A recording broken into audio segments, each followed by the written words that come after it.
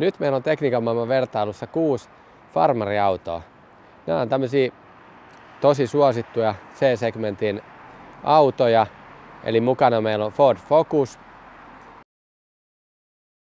Kia Ceed,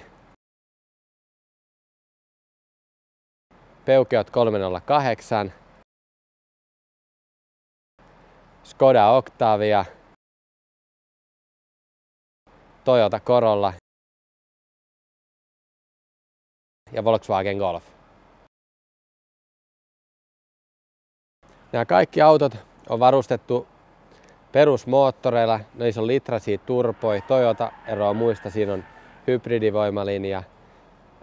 Tietysti farmarin takia, kun ne on farkkuja, niin tilat on näistä tosi tärkeät. Sen takia on tässä vertailuskin keskityt tiloihin, tavaratilat, takatilat.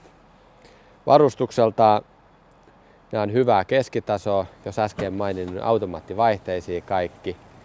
Hinnat pyörii, perusautot on noin 33 000 ja sitten vertailuauto kun varustellaan, niin muutama tonni enempi siinä 36 000 luokkaa. Me on käytetty tässä vähän erilaisia objekteja, mitä me on laitettu tonne autojen sisään. Tässä on muun muassa kaksi tämmöistä pyöränkuljetuslaatikkoa, millä on hyvä kokeilla, miten tuo tavaratila toimii. Takaistumen selkänojat on kaadettu. Tässä on hyvä esimerkki tämä Skoda. Tämä oli meidän perinteisissä mittauksissa suurin tavaratila. Tänne menee näitä pyörälaatikoita, niin hyvinkin tällä päin, mutta tavaratila on pikkasen eri muotoinen kuin tuossa Fordissa.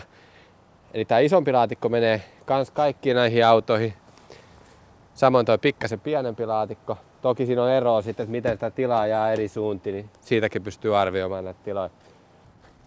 Nyt kun täältä Fordin tavaratilasta on penkit kaadettu, noin takaisin, tai penkkien selkänojat takaa, niin sitten tänne menee tämä meidän pienempi pyörälaatikko, niin pikkasen kääntelemällä niin se mahtuu jopa ole pystyssä täällä.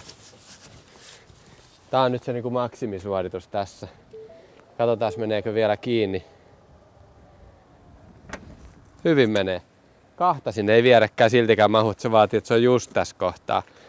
Mutta tää on tässä, kun tuulilasi on sen verran pystyssä, ei ole vedetty niin viistoon, niin sitä tavaratilaa on helppo hyödyntää tonne ihan kattoasti aika korkealta matkalta.